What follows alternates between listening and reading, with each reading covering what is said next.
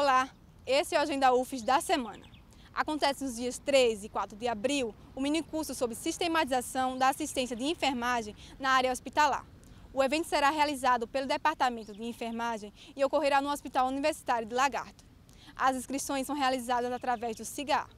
Na quinta-feira, começam as inscrições para o preenchimento de 64 vagas remanescentes para ingresso em 2019. As vagas estão distribuídas entre os cursos de Astrofísica, Museologia e Arqueologia.